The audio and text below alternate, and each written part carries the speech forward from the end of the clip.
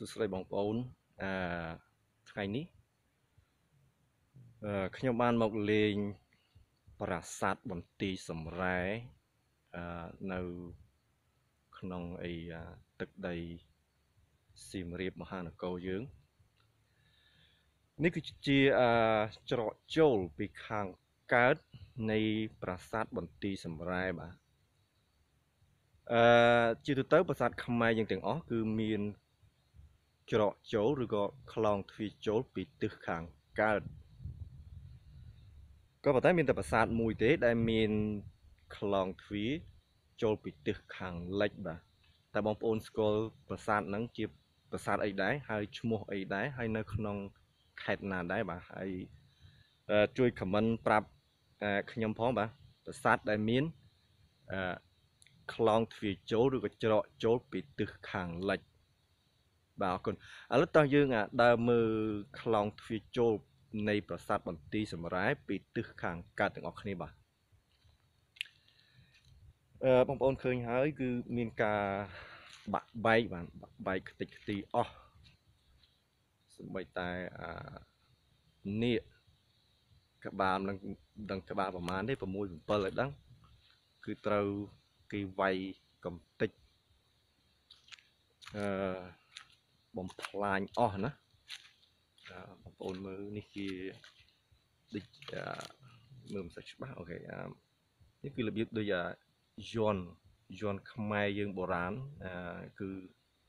នឹងគឺស័ក្តិសិទ្ធិមែនទែនណាយន់ហ្នឹងគឺគេតែងតែមានស័ក្តិជាមួយនឹងនាគប្រកាន់ដៃនាគបាទប៉ុន្តែអាសូរមែនទែនគឺក្បាលរបស់វាគឺត្រូវបានបាក់តិចតិចអស់ហើយណា នេះគឺដោយសារតែសង្គ្រាមបាទសង្គ្រាមគួរឲ្យសោកស្ដាយមែនទែនណាស្នាដៃដូនតារបស់យើងគឺទៅបានបំផ្លិចបំផ្លាញខ្ទេចខ្ទីអស់ហើយបាទជាទូទៅខ្លងទ្វាររបស់ប្រាសាទយើងគឺអាអាតាមច្រកចូលនីមួយៗគឺតែងតែមានបង្កាន់ដៃនាគអមទៅដោយបង្កាន់ដៃនាគណាហើយផ្លូវដើរគឺអមទៅដោយក្រៅទៅដោយថ្មបាយក្រៀមបាទថ្មបាយក្រៀម ប៉ុន្តែជាទូទៅប្រកាន់ដៃគឺគេធ្វើពីថ្មភក់យើងទេគេអត់ធ្វើពីថ្មបាយក្រៀមទេណាប៉ុន្តែបាក់អស់ហើយបាក់អស់ហើយអឺបន្ទាយសម្រែគឺជាប្រាសាទមួយដែលស្ងាត់មែនទែនឬក៏នៅក្នុងព្រៃអត់សូវមានមនុស្សណាអីបលេងប្រហែលទេបាទនេះគឺកន្លែងចដើឡើងទី1បាទនោះគឺ អឺទីយើងឡើងទី1មកពីខាងដងហើយនេះគឺទី2ឡើងចដើឡើងទី2ដោយសារតែអឺប្រជាជនបាទប្រជាជនខ្មែរយើងមួយចំនួនគាត់អត់យល់ពីតម្លៃតម្លៃនៃ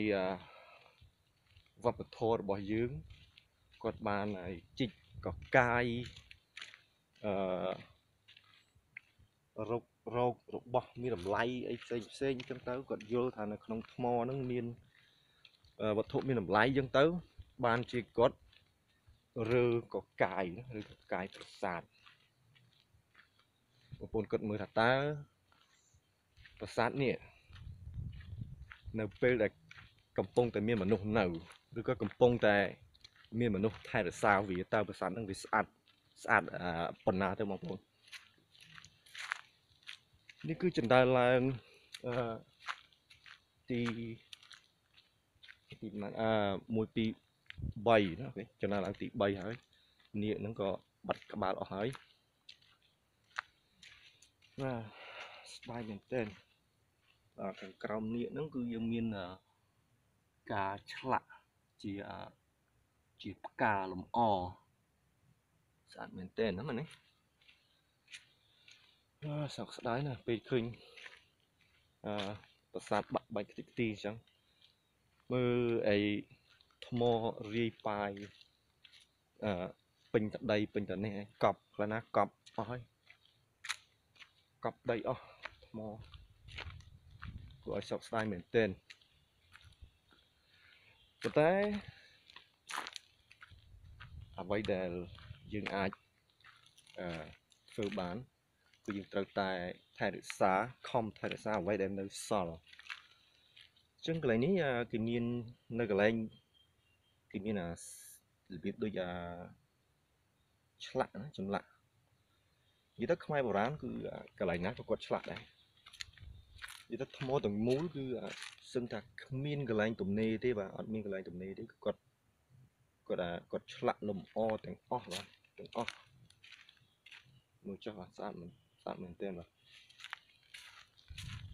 អត់ដល់ខ្លងទ្វារចិត្តដើរឡើងទីទី4ហើយអឺនិយាយមែនតើគឺប្រាសាទបន្ទាយសម្រែគឺអាមិនខុសពីអង្គរវត្តយើងប៉ុន្មានទេបាទគឺរចនាបថវាគឺគឺដូចគ្នាបាទ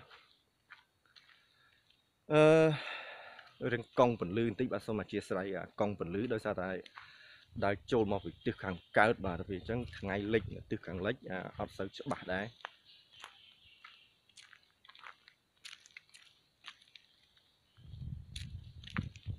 ស្ងាត់មែនតើណាបងប្អូនបើសិនជាយើងមកដល់អឺពិតជាមានអារម្មណ៍ថាយើងកណ្ដោចកណ្ដែងមែនទែនគឺអាចយើងសំណោះប្រាសាទ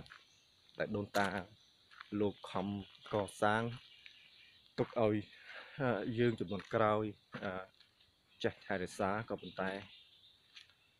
យើងមិនបានថែរក្សាវាទេមិនត្រឹមតែមិនបានថែរក្សាទេ តែយើងនឹងក៏បំផ្លិចបំផ្លាញថែមទៀតណាបាទបំផ្លិចបំផ្លាញថែមទៀតណាអូមានមានផ្កាបងប្អូនមានផ្កាព្រៃបាទផ្កាព្រៃមិនដឹងជាផ្កាស្អីទេដើមអីទេធ្លាក់ធ្លាក់លើអាធ្លាក់លើអាអាប្រកាន់ដៃនេះនឹងស្អាតបាទ ផ្កាអីទេបាទតាយើងបន្តដំណើរទៅមុខទៀតឥឡូវយើងដល់អីច្រកច្រកចូលហើយច្រកចូលមន្ទីរសម្រាប់អូកង់ពលឺមែនទេបងប្អូនបាទគិតថាប៉ុណ្ណឹងច្បាស់ទេបងប្អូនអាហ្នឹងគឺយើងទៅឡើងចូលកន្លែងហ្នឹងហើយអឺចន្ទឡើងគឺជាធម្មតា គឺវាតែងតែមានអឺអាតោណាតោឈោយាមផ្លូវ អឺចឹងវាសិតជាជាតំណាងបាទតោនឹងគឺសិតតែជាតំណាងអំណាចរបស់របស់ស្ដេចណាបាទនេះបន្ទាប់មកគឺតែតែមានពោះពោះមានពោះនាគអីចឹងទៅឈរអមជាមួយតោហ្នឹងអូខេខាងក្រោមនេះក៏មានជើងតម្រោទៅសមមូលទៅសមមូលបងប្អូនអាចមើលឃើញទេ បាទសសមមូលប៉ុន្តែបាក់បែកអស់ហើយបែកអស់ហើយមានអីសល់ទេបងប្អូនហើយតោហ្នឹងហើយអស់មុខលិញហើយអាណិតតោណាបាទហ្នឹងក៏អស់ក្បាលទេបាទបាទឥឡូវយើងឡើងតឡើងមើលមិនដឹងអូខេចតាគេគឺពិបាកឡើងមែនទេអូខេចតាគេយើងឡើងឡើងអស់គ្នាតអូអូខេឥឡូវយើងបកមើលទៅក្រោយបន្តិច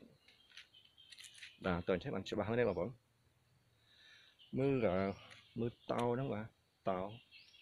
គឺគេដាប់បាទគេដាប់ដួលបាក់បែកខ្ទេច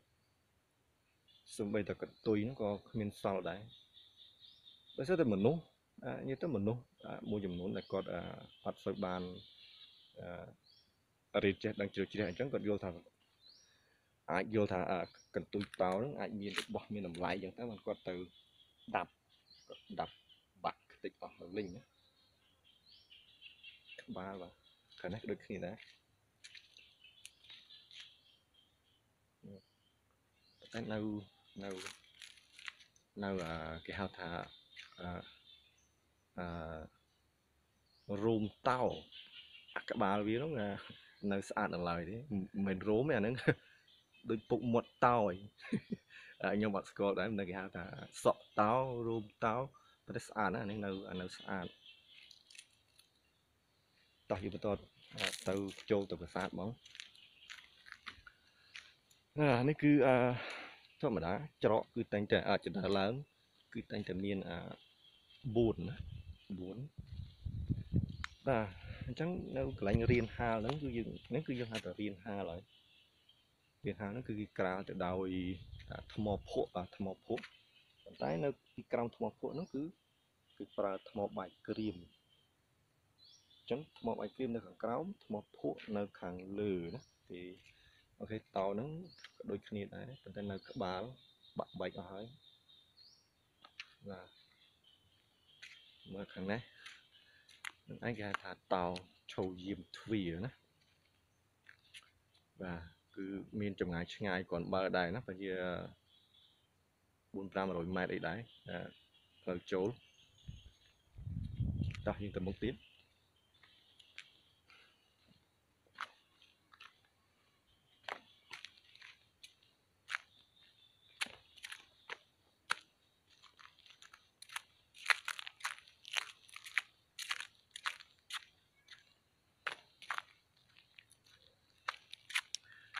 ជា ស្រ័យផងបាទចាំង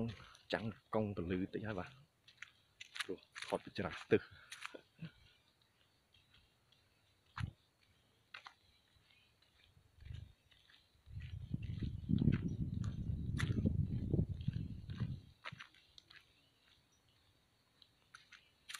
អូខេឥឡូវយើងអា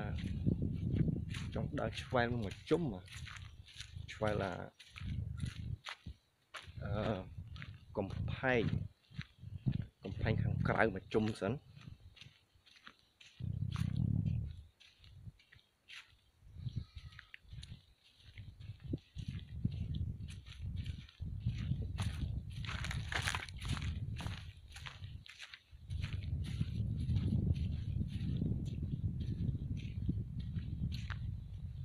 ខ្ពស់មែនទែនបាទបាទកំផែងវាគឺតែប៉ុណ្ណឹងទេ ខេនេះត្រឡប់ទៅទៅខាងក្នុងវិញបាទណាអាកំផែងហ្នឹងគឺគេធ្វើពីថ្មបាយក្រៀមបងប្អូនបាទគេធ្វើអំពីថ្មបាយក្រៀមណាពីក្រោមឡើងដល់លើចឹងអាចមានកម្ពស់អូខ្ពស់មែនតើ10ម៉ែត្រជាងអីហ្នឹងនេះចឹងមួយចំនួនហ្នឹងប្រហែលជាគេអឺមាន លៀបលៀបគេហៅថាបាយអណាដោយសារតែវាយូរពេលមកហើយរាប់100ឆ្នាំមកហើយបានជាបាយអហ្នឹងវាធ្លាក់របេះធ្លាក់អស់ពិតជាអស្ចារ្យមែនទែនបាទដូនតាគាត់និយាយទៅគាត់ខ្លាំងលី លីសែងអីថ្មហ្មងនិយាយទៅមិនមិនធម្មតាទេបាទដូនតាយើងបាទ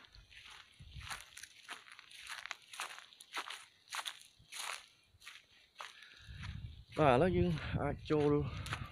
ចូលចូលបន្តទៅមិញគាត់ថាដៃឆ្វែមកជុំប៉ុន្តែអាដូចជាយូរពេកចូលបន្តអានេះគឺខ្លងទ្វារពីខាងកើតបាទខ្លងទ្វារពីខាងកើតច្រកចូលខ្លងទ្វារខាងកើត ទៅតាមខ្លងទ្វារមួយមួយបងប្អូនតែឃើញលោកតាអីសីបាទអីសីអង្គុយសមាធិដោយយើងចំណាំបានថាគាត់គាត់តែងតែមានពុកមាត់ហើយអង្គុយហ្នឹងគឺសមាធិជំនាន់ហ្នឹងគឺគេអង្គុយខ្វែងជើងគ្នាបាទអត់មានអត់មានអង្គុយដូចយើងឥឡូវទេហ្នឹងគឺអីសីសមាធិហើយទៅបាទទាំងសងខាងបាទសងខាងអានេះលុបមុខអស់ហើយ នឹងសសរពេជ្រនេះគេហៅសសរពេជ្រអើចម្លាក់ខាងលើនោះគាត់ដាច់អស់ដែរអើមើលស្អាតមែនទែនណាផ្ដែរបស់របស់ដូនតាយើងហ្នឹងគឺរាហូបងប្អូនឃើញថ្មីនេះរាហូហ្នឹងរាហូតោះយើងចុះអូខេ បាទហ្នឹងយើងហៅថាថែវគេថាថែវទី1ណាថែវទី1នៃប្រាសាទបន្ទាយសម្រែបាទស្ងាត់មែនទែនបងប្អូនស្ងាត់ស្ងាត់មែនទែនពូស្អាតណាស់បាទអញ្ចឹងនៅពេលនៅពេលដែលអឺមានពន្លឺថ្ងៃលិចអឺចាំងមកចំរែងអឺថ្មប្រាសាទគឺវាមានពណ៌ ដូចមាសអញ្ចឹងបាទគឺមានពណ៌ដូចមាសអញ្ចឹងគឺស្អាតមែនទែនបាទបាទនេះគឺខ្លងឃ្លីកចូលទិសខាងកើតបាទអឺបាក់បែកអស់ហើយបាទបែកអស់ហើយដបូលលើអីបាក់អស់ហើយនៅតែឃើញតែជើងទៅសណាបាក់តិចអឺនេះគឺខ្លោងទ្វារចូលទៅកំពូលកណ្ដាលកំពូលកណ្ដាល អឺស្អាតមែនទែនហើយបងឃើញតបកផ្កាឈូកមានតបកផ្កាឈូកនេះ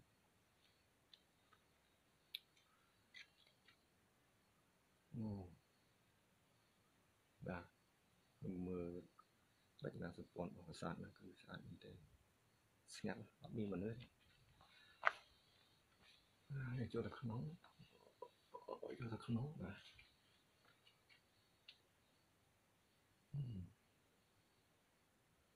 វាសំពេចទៀតហើយបាត់អស់ហើយ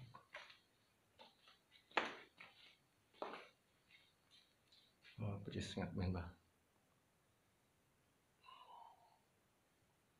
អានោះគឺកំពូលខាងលើបា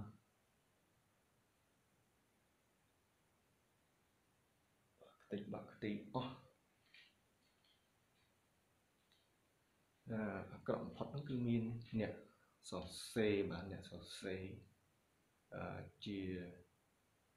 អឺយកខ្ជុំមកសរសេរបាទគឺมันมันល្អសោះបាទអត់ល្អមែនទែនគឺបានន័យថាយើងអត់អីគោរពព្រលឹងដូនតារបស់យើងយើងអត់បានអីមើលថែរក្សាហើយយើងខំយកស្អីមកគូសមកវាឲ្យប្រឡាក់ថ្មបាទខ្មែរក៏បាននិយាយ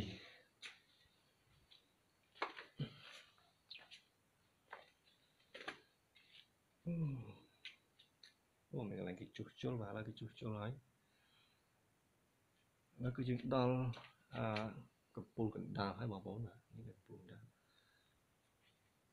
នេះគឺបណ្ណាល័យបណ្ណាល័យដូចនៅអង្គរវត្តគឺមានបណ្ណាល័យចឹងដែរណាស្ងាត់ណា បាទឥឡូវយើងចូលទៅច្រកកណ្ដាលនេះយើងនឹងឃើញឃើញអា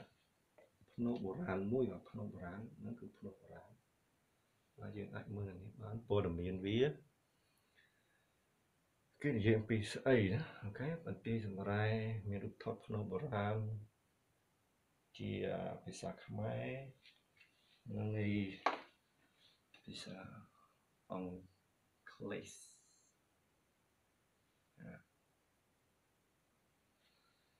ចោលក្នុងបុរាណហ្នឹងគេបានអ្នកស្រុកនេះគេជឿថាមានកប់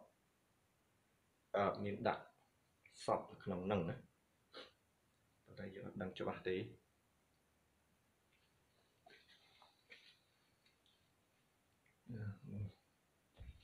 ស្មាច់ជ្រាបមកជ្រាបចូលទៅតាសូមអធិស្ឋានពលឹងដូចតាគុំប្រកែប្រកាន់កូនចៅអូ បាទនេះគឺកំពូលកណ្ដាលហើយបងប្អូនណាមើលអត់ឃើញទេព្រោះនេះមែនតើមកឃើញតែអឺចម្លាក់អឺរាហូបាទ